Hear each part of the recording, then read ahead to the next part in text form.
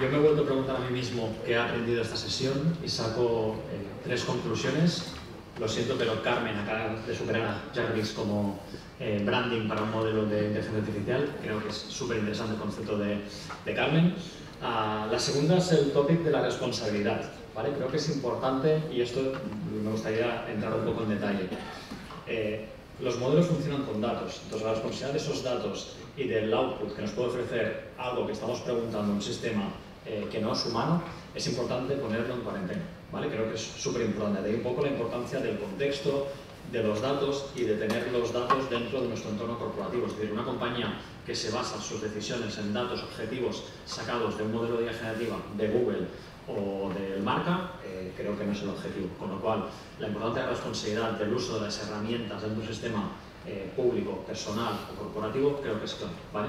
Y la tercera creo que es el mix. ¿vale? Eh, yo vengo oh, históricamente de diferentes mundos, uno de ellos es el del marketing, y cuando salió la revolución del social media parecía que lo que eran las notas de prensa, publicidad en televisión, etc., había desaparecido.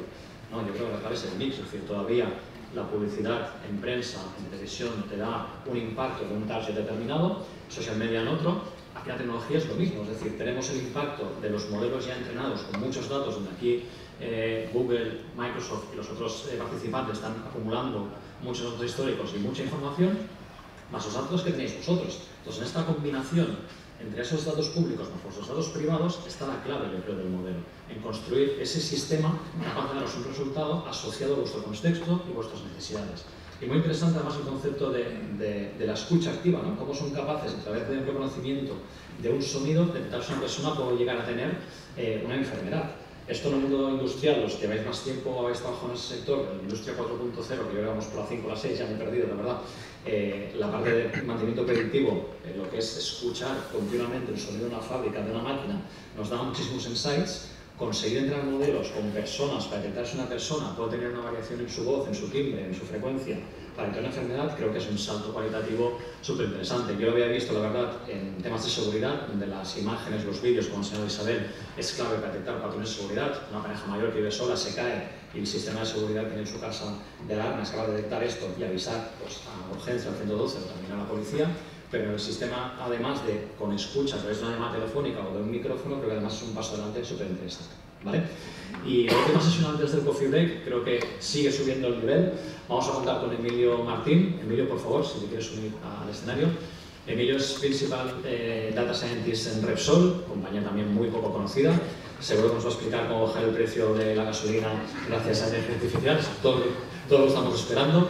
Además de su rol, es profesor asociado a la Universidad Complutense de Madrid y a la Universidad Pontificia y tiene una altísima expertise en temas de datos y artificial.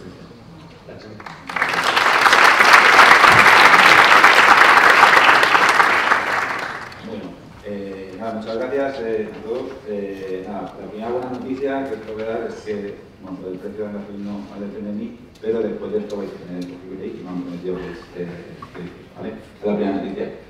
Eh, ¿Qué vengo a contaros hoy? Bueno, pues vengo a contaros cuál ha sido el viaje de Repsol en los últimos cinco años hasta llegar a la parte de IA generación, ¿vale? Eh, de la primera ola digital a la segunda. Bueno, en palabras de nuestro CEO, ¿vale? Eh, básicamente la digitalización potencia los resultados de nuestra empresa poniendo a las personas en el centro y dotándolas de herramientas, ¿vale? Creo que lo ha dicho el, el anterior ponente, pese a mensajes de alarmistas que vienen a decir que la inteligencia artificial nos va a sustituir o nos va a sustituir, básicamente es una herramienta. Lo que sí que es cierto es que las personas que utilizan inteligencia artificial terminarán sustituyendo a aquellas que no las utilizan. Lo mismo pasa con las compañías. Entonces, bueno, básicamente, eh, pues a través de nuevas tecnologías digitales, nuevas formas de trabajar, creemos que esta es el, la, la senda que tiene que tomar nuestra compañía. Y tenemos la suerte que, bueno, desde el principio, desde el principio de la transformación digital de Repsol, desde la dirección se ha apoyado eh, muy mucho esta, esta, dirección. No sé si muchos lo sabéis, pero bueno, desde 2018 Repsol se embarcó en, en lo que llamamos la, el programa de transformación digital y este primer programa de transformación digital abarcó, terminó en 2022. Quizás dos características de este programa es, por un lado, el impacto ¿eh? y por otro lado la escala. Hemos hecho más de 500 casos digitales. Cuando empezábamos era, bueno, pasa un poco como pasa ahora con la idea generativa, ¿no? Es relativamente sencillo ver pruebas de concepto, pero escalarlas es relativamente complejo. Quizás, eh, pues solo veremos al final de la presentación, fruto de que la tecnología está todavía en proceso de maduración. Por otro lado, como compañía multienergética tenemos el reto de lo que el presidente llaman el trilema energético, ¿no? que es básicamente garantizar el suministro, garantizarlo a un precio competitivo, es decir, que la gente pueda acceder, y por otro lado, descarbonizarnos. En ese sentido, la digitalización y la inteligencia artificial nos ha permitido reducir pues, entre 400 y 500 mil toneladas de CO2. Y por otro lado, el impacto. Eh, básicamente, eh, como decía nuestro antiguo CDO, lo que no son cuentas son puntos. Eh, desde que el programa digital inició, teníamos un claro cometido de tener impacto en el negocio. Y la primera hora digital consiguió un impacto de más de 800 millones de free cash por supuesto, las personas, más de 1.200 personas participaron en este programa de transformación digital. Eh, muchas empresas, yo creo que todas las consultoras eh, tecnológicas, todas las consultoras eh, estratégicas del país, incluido también equipo de, de ¿Cuáles eran los retos a los que nos enfrentamos cuando empezamos con este programa de transformación? Bueno, el primer reto es el reto de valor para los negocios. Los negocios tienen que entender cuáles son las posibilidades de la tecnología para pensar o reimaginar cómo puede ser su proceso de negocio y ver cómo la inteligencia artificial puede, o la digitalización puede impactar positivamente en los negocios. Esto a su vez está relacionado con un reto cultural, ¿vale? Eh, que lo dividimos en dos, falta de capacidades analíticas y de una cultura en la empresa que acompañe. Es decir, si el negocio no es capaz de imaginarse lo que puede hacer la tecnología, o si no cree en ella, o si piensa que le van a sustituir. Yo creo que antes lo decía anteriormente sobre esa resistencia al cambio ¿no? de los médicos, de bueno, esto me va a sustituir o esto me va a llevar más tiempo, etcétera, etcétera. Hace falta cambiar un poco la, cultura de la empresa y luego, por otra parte, eh, sobre todo lo que tiene que ver con la parte de cómo escalo de un caso a cientos de casos los retos operativos, tanto de accesibilidad, calidad de los datos, una infraestructura tecnológica, que hablaremos de ello después, para que nos permita escalar esos casos. Con estos tres retos, el, MIT decía que simplemente, o únicamente, mejor dicho, el 10% de las organizaciones eran capaces de reportar retornos eh, de proyectos basados en inteligencia artificial. Esto era 2020, ya han pasado eh, cuatro años. ¿Cómo lo hemos solucionado? ¿Cuáles son algunos de los eh, aprendizajes que tenemos por parte de Resol que vengo a compartir? Bueno, la primera parte, la de valor para el negocio. Nosotros una de las cosas que hicimos desde el principio es poner al negocio en el centro, es decir, esto no es el departamento de Haití haciendo un caso digital eh, para el negocio y el negocio se desentiende, no, el negocio tiene que tener el ownership de cada uno de los casos y se los tiene en, ese sentido, una figura muy importante son los productores, que son los que priorizan eh, y junto con el equipo de digital eh, construyen el caso. Otra característica importante es impulsar una cultura ágil eh, y basadas en proyectos cortos y hitos claros. Es decir, básicamente no tiene mucho sentido hacer proyectos de dos años y dentro de dos años o a cabo de dos años darnos cuenta de que el algoritmo no funcionaba. Lo tenemos bastante estructurado, tenemos distintas, distintas fases eh, y básicamente lo que intentamos es mitigar cuanto antes todo el riesgo eh, asociado a la parte analítica.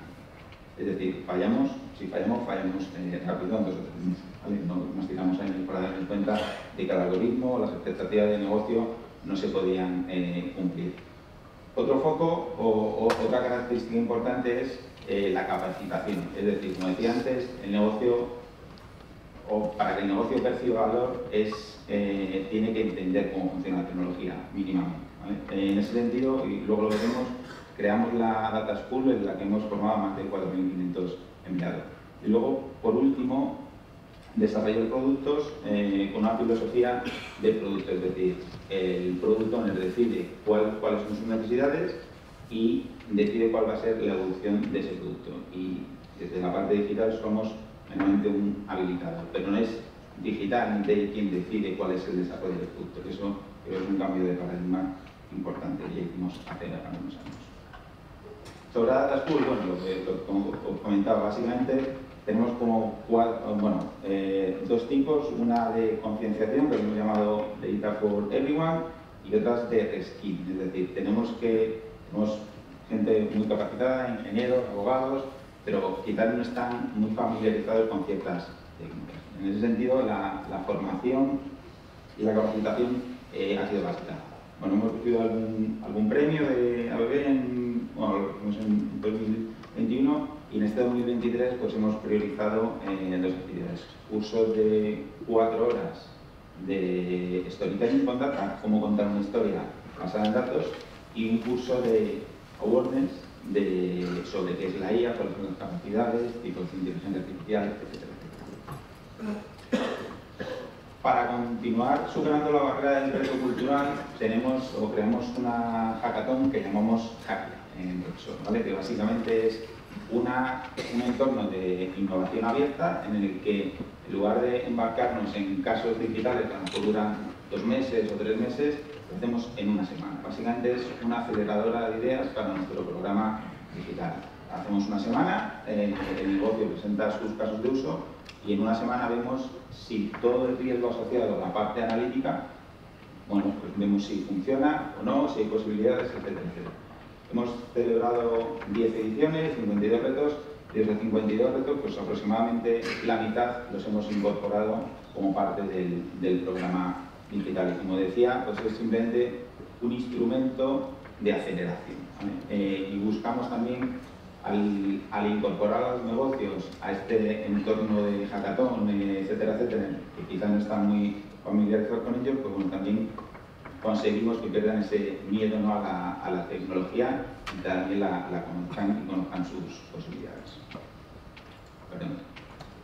El reto operativo. Eh, este quizás es uno de los retos eh, bueno, que más eh, impacto tiene a la hora de escalar. Eh, nosotros construimos eh, nuestra plataforma Data Analytics que se llama ARIA y básicamente lo que nos permite esta plataforma es escalar. Si no hubiéramos tenido la plataforma ARIA, no hubiéramos tenido ni accesibilidad del dato, ni accesibilidad a los datos, perdón, ni podríamos tener los datos gobernados, ni podríamos desplegar modelos en producción en semanas, sino meses. desde luego, no podríamos haber democratizado tanto los datos de la compañía como las, eh, las posibilidades de la inteligencia artificial. En ese sentido, en esta fase lo que estamos es eh, intentando que este concepto vemos aquí ¿no? de Citizen Data Scientist, que básicamente que todos los empleados puedan eh, utilizar modelos de una forma sencilla a través de nuestra plataforma bueno, aquí veis un poco los, las cifras, más de 200, 240 fuentes de datos, más de 140 terabytes, más de 21 millones de procesos eh, ejecutados eh, cada vez al mes. Eh, luego ha sido, bueno, recibió el premio METIC de, en 2021. Además, esta plataforma se ha disponibilizado, se ha puesto disponible a, pymes a través de la asociación de la que luego hablaré. Finalizando el, o casi ya finalizando la primera ola digital, una de las cosas que, observamos es que los problemas a los que nos enfrentábamos eran, en cierto modo, eh, siempre los mismos. ¿no? Eh, Básicamente teníamos problemas de series temporales en la compañía, daba igual si era en INP, en comercial, en química, en industrial. Eh, y siempre eran los mismos. Es decir, desde el punto de vista de ciencia de datos, el problema era el mismo, era predecir cuál va a ser el valor futuro de una serie temporal, con matices. ¿vale? entonces, básicamente lo que hemos hecho es crear una serie de herramientas propias desarrolladas de forma interna, eh, disponibilizadas a través de la plataforma ARIA y accesibles a toda la organización. Y estos son los siete eh, módulos eh, o frameworks de, de, desarrollo que hemos desarrollado. Eh, bueno, RedTip para temas de series temporales, RedSolver para temas de optimización, sobre todo centrados en la parte de eh, cadena de suministro, eh, RedSense para temas de inferencia, RedCom para temas de computer vision, RedSim para temas de simulación, eh, RedLAM para procesamiento del lenguaje natural y RedClass para temas de pricing. Hemos recibido algunos premios también, sobre todo el, año pasado en, en AMETIC, en Spokinia y hemos recibido la financiación de Red.es eh, por este eh, trabajo. Y por supuesto, para superar el reto operativo, lo hemos hecho a través de, bueno, pues de un enfoque eh, basado en un ecosistema abierto y colaborativo con todos nuestros partners. Por ejemplo, pues trabajamos con en la parte cloud con Microsoft y AWS, en la parte de optimización de procesos con Celonis, el desarrollo de cliente, en el desarrollo de plataformas gran cliente con, con Salesforce. Además, hemos eh, sido cofundadores del consorcio Indesia y esta parte creo que merece eh, bueno, pues una, una explicación adicional. Básicamente, una de las cosas que hemos observado es que además de digitalizarnos nosotros, eh, Repsol en su cadena de suministro hay partes a las que el cliente final no llega a Repsol, sino que tenemos una serie de colaboradores, pues, transportistas, agencias de distribución, etcétera. Y básicamente lo que nos dimos cuenta es que necesitamos que esas eh, pequeñas y medianas empresas también estén eh, digitalizadas, es decir, que cuenten con las mismas herramientas, porque al final el cliente que tenemos al otro en, el otro extremo de la cadena es único. En ese sentido, pues creamos eh, esta asociación o cofundamos esta asociación con otras empresas que Airbus, Telefónica, AM, Inditex, Ferrovial, eh, Escuela de Organización Industrial y. Y básicamente la idea es poder acercar la inteligencia artificial a todas las empresas, a pequeñas y medianas empresas, en el ámbito industrial. A todo esto, lo que hemos conseguido es posicionarnos como referentes, al menos en el sector eh, energético, en transformación digital. ¿vale? 60 publicaciones y varios artículos en, en, en el MIT. Básicamente, Quizás era lo que os comentaba al principio, una de las características fundamentales de nuestro programa de transformación digital es el impacto que tiene, es hemos tenido más de 300 millones de impactos, y la escala, más de 400 eh, casos digitales. Y por poneros algunos ejemplos, que no sea todo eh, rollo sobre los aprendizajes, he seleccionado estos cuatro ejemplos. Por ejemplo, no sé si lo sabéis, pero Repsol, además de eh, poner, eh, tener estaciones de servicio y vender carburante, eh, vendemos también pan, ¿vale? Y en realidad seríamos la primera panadería de, España si lo unificáramos, ¿vale? Entonces, básicamente lo que hicimos es un sistema predictivo de series temporales para decidir cuándo tenemos que hornear pan. ¿vale? eso al final se tradujo en un incremento de ventas del 16%, y para ello tuvimos que entregar más de 48.000 módulos. ¿De dónde sale esta cifra? Bueno, básicamente porque tenemos miles de estaciones de servicio y que para cada estación de servicio tenemos que entrenar decenas o cientos de, módulos. Otro ejemplo es Stock Control. Eh, en general, en todos nuestros activos industriales, químicos, tenemos stocks. ¿vale? Eh, básicamente nos cometen unos stocks de seguridad y eso lo que nos hace es tener cierta cantidad de eh, dinero inmovilizado. Entonces, básicamente, gracias a técnicas de predictivas y técnicas de optimización matemática, conseguimos reducir eh, los stocks de seguridad sin romper stock, pero eh, minimizando el, el, inmovilizado que tenemos. ¿no? Eso un impacto en 2022 de más de 3 millones de, euros. Pellets. los pellets no sé si sabéis lo que son, son un producto que sale de la parte de de química y hay veces que, se fugan. Básicamente lo que conseguimos es con temas de, o con técnicas de computer vision detectar el 98% de las fugas de forma automática y conseguir eh, cuantificarlos con una precisión del 88%. Y por último, eh, el último proyecto que es Bonsai de Tarragona, este tiene que ver con la parte de aprendizaje por refuerzo. Eh, los que hayáis estudiado teoría de control o seáis ingenieros industriales seguramente os sonará, tanto en las plantas químicas como en las plantas industriales, todo proceso lo queremos controlar, es decir, lo queremos tener, tenemos los productos con cierta calidad o con cierto, con cierto, sí, básicamente con cierta calidad. Hay técnicas clásicas de sistemas de control y hay técnicas que están basadas en aprendizaje por por refuerzo. Este es un ejemplo, el ejemplo que estáis viendo ahí se llama MOAB, es un ejemplo clásico de, de Básicamente tiras a pelotita y por refuerzo tiene que aprender cómo equilibrarlo. Trasladando ese ejemplo a una planta, pues conseguimos también ahorros bastante importantes en la parte de química.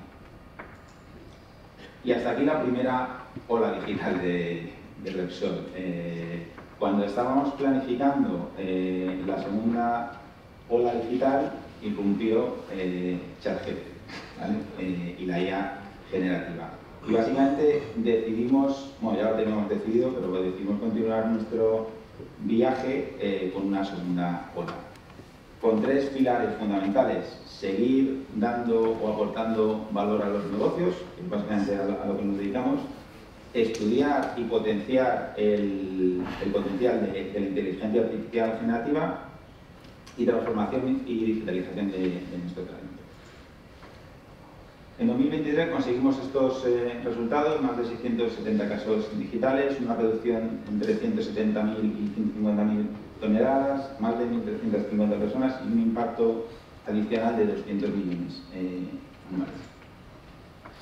Además, seguimos, bueno, no sé, si no sé si lo sabéis, pero Repsol fue la primera compañía del sector, eh, de nuestro sector, en comprometerse a alcanzar las cero emisiones netas en 2050 en realidad, lo que estáis viendo en amarillo eran los objetivos iniciales y lo que estáis viendo en azul son los objetivos que nos hemos marcado. Como veis, bueno, pues vamos, eh, bien.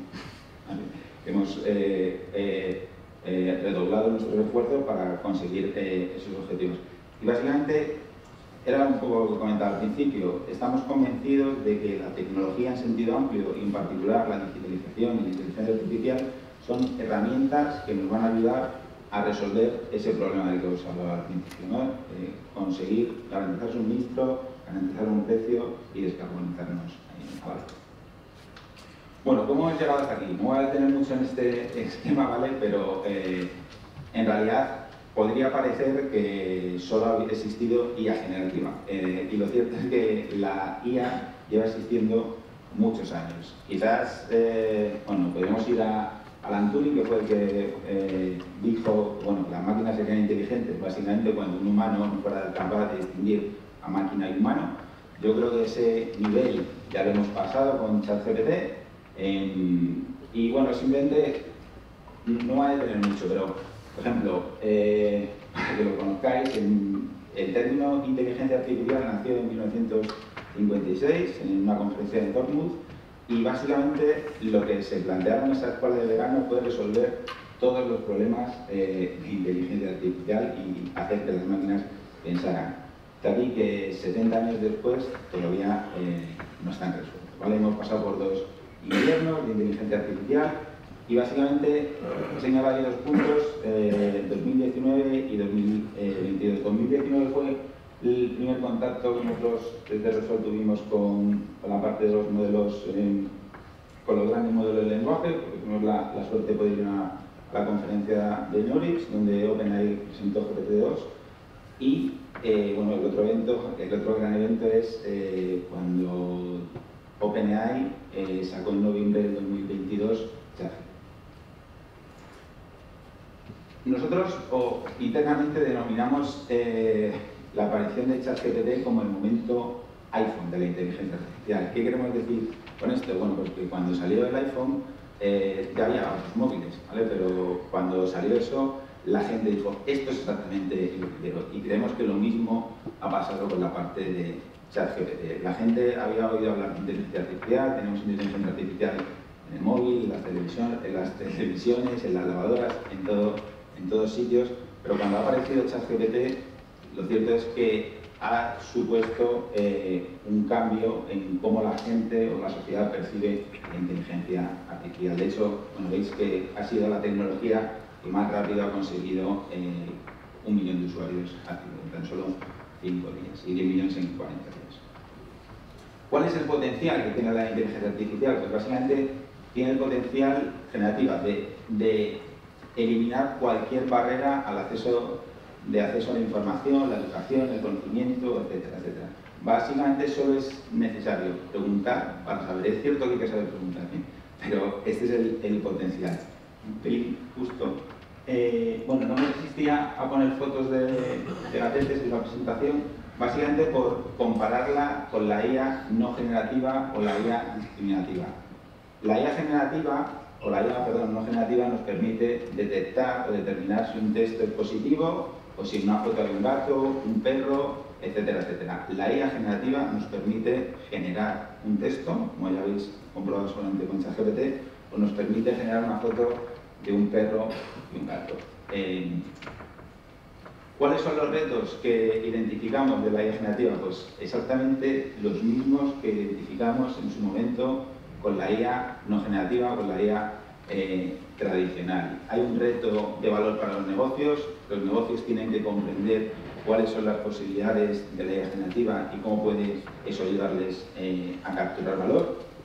Hay un reto cultural, tenemos que seguir capacitando a nuestros negocios para que entiendan las posibilidades y, y ciertamente creemos que hay un reto operativo eh, y de madurez de, la tecnología. Es decir, tenemos que tener accesibilidad eh, a los datos y los datos tienen que ser de calidad y tenemos que tener la infraestructura tecnológica para que nos permita escalar eh, pruebas de concepto muy, muy sorprendentes a cientos de casos que de verdad aporten valor a, a nuestros negocios. ¿Cómo lo estamos enfocando en Repsol? Bueno, pues básicamente, como creemos que esta tecnología es ciertamente disruptiva, en agosto de, 2023 creamos un centro de competencia de, competencia de y básicamente eh, identificamos cuatro tracks. El primer track, el primer track tiene que ver con un laboratorio de nuevas formas de trabajo. Creemos que toda parte de copilotos, asistentes, etcétera, etcétera, va a cambiar ciertamente la forma en la que trabajamos en cualquier oficina eh, en este país. De hecho, creemos que ya lo está haciendo. La segunda parte o el segundo foco es el desarrollo de los casos digitales. Tenemos que ver cómo esta IA generativa nos permite desarrollar casos digitales que ciertamente hasta ahora quizás no lo habíamos eh, pensado o lo estamos desarrollando con otro eh, tipo de inteligencia artificial. Por otro lado, nosotros desde digital desarrollamos código. Al final, eh, una palabra que no suena mucho en las conferencias, pero es software. Todo esto de IA generativa, no generativa, es software. Es decir, es una pieza de código que ejecuta en un ordenador. Ya está. Entonces, nosotros desarrollamos código, tenemos buenas prácticas de desarrollo de código, pero sin duda la IA generativa nos va a ayudar a acelerar. De hecho, eh, hace unos meses hicimos un hackathon solo centrado en IA generativa y en desarrollo de código. La verdad que los resultados eh, fueron eh, muy conocedores. Y por último, la parte de IA responsable, es decir, tenemos que cumplir, por supuesto, con la regulación europea que, viene, que va a entrar en vigor, ya lo hacíamos, tenemos que ver cuáles son las consecuencias eh, éticas, legales, de utilizar ciertos tipos de, inteligencia artificial. This bike a...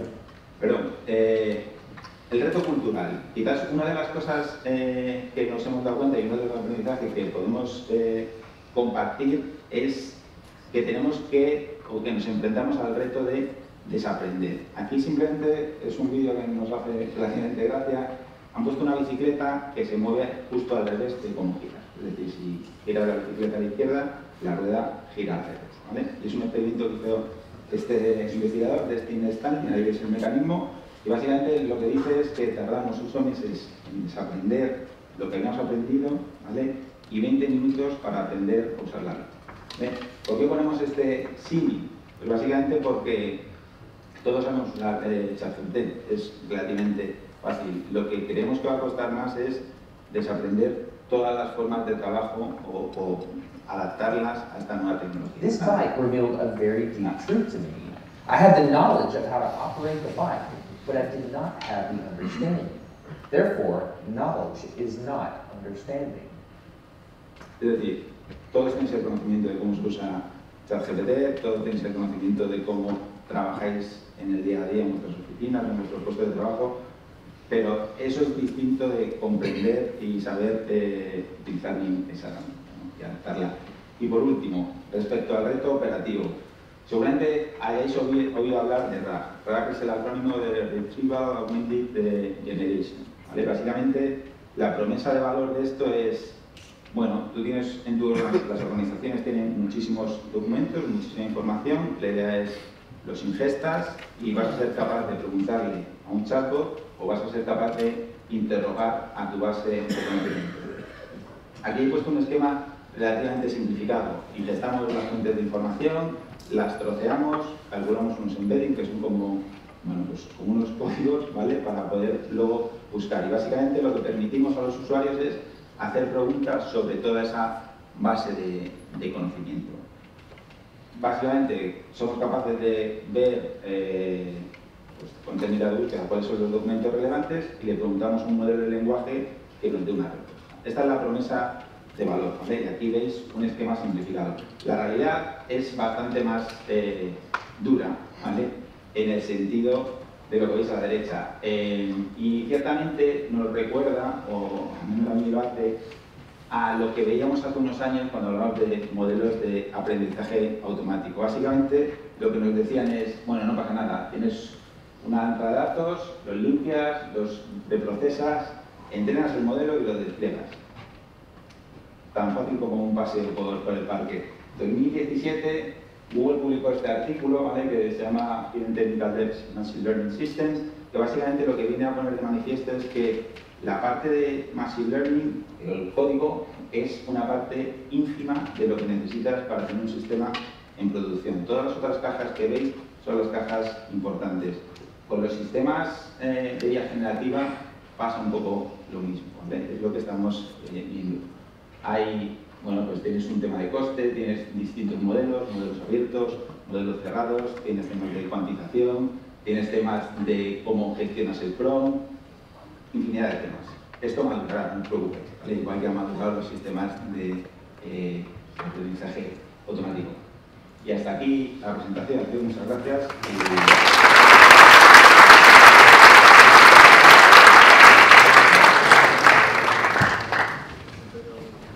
Gracias, Emilio. Eh, no es cosa de tiempo, pero era súper interesante, narices de contarlo. Con lo cual haremos solo una pregunta, si os parece, y iremos al coffee break, si alguien quiere hacer alguna pregunta. Tienes un micro delante, si ves el botón. Hola, buenas. Uh, primero, muy interesante la, la presentación. Um, y tengo una pregunta referida a la, a la plataforma que comentabas. ¿Podrías estimar más o menos cuál es el esfuerzo invertido en la plataforma versus el esfuerzo invertido en los modelos directamente? ¿Y cómo esto cambiaría con la, con la inteligencia artificial generativa? Mm, bueno, eh, a ver, yo diría que, que, el esfuerzo en construir la plataforma ha sido significativamente mayor que el esfuerzo en construir modelos o casos de uso. Es cierto que empezamos en 2018 y el equipo de plataforma eh, bueno, pues, ha sido, sobre todo al principio, eh, ha sido mayor que el equipo de ciencia de datos. Hoy en día, una vez que la plataforma está estabilizada, el equipo de ciencia de datos es mayor porque nos centramos sobre todo en temas de delivery. Es decir, una vez que la plataforma se construyó, yo creo que eh, bueno, pues el headcount del equipo de plataforma eh, bajó significativamente. Es cierto que ahora estamos desarrollando o adaptando la plataforma a ver cómo todo el tema de IA generativa encaja dentro de los esquemas de, de, IA, tradicional. Y respecto a la segunda parte de tu pregunta de cómo esto nos puede ayudar, pues básicamente lo que comentaba del, centro de competencias, en el tercero de los pilares, que era cómo la IA generativa o los copilotos de desarrollo de código nos pueden ayudar, pues bueno, básicamente es cómo esos copilotos pueden ayudar a los desarrolladores que desarrollan eh, plataformas. No, tengo una respuesta clara de cuál va a ser el, el impacto. ¿Está respondido? Okay. Bueno, pues muchas gracias, Emilio.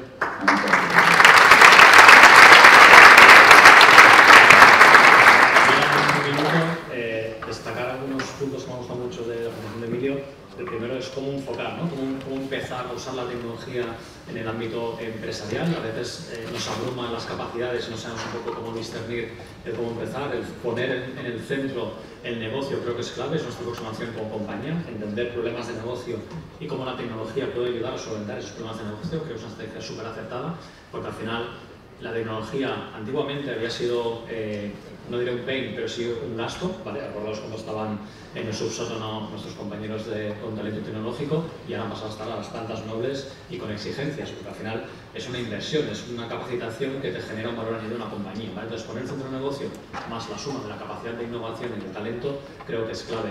El concepto de centro de competencia, nosotros llamamos también centro de excelencia, algunas compañías eh, IT Innovation, es decir, cómo utilizar esa innovación en pequeños casos de uso para generar luego eh, escalabilidad y llevar a producción esas consecuencias de esas MVPs más que pruebas de concepto, porque al final, como ha demostrado Microsoft o nos enseñará Google, la tecnología ya es muy capaz. ¿vale? Yo os invitaría ahora a salir, hemos preparado un pequeño coffee break, 30 minutos, sigamos manteniendo por favor el, el, la puntualidad británica que estamos llevando, vosotros no vayáis porque tenemos a Google, tenemos a Intel, tenemos a Mitiga, una startup alucinante y como no, antes de comer, Nestlé con su proyecto de innovación que es yo creo muy puntero a nivel mundial. ¿vale? Gracias.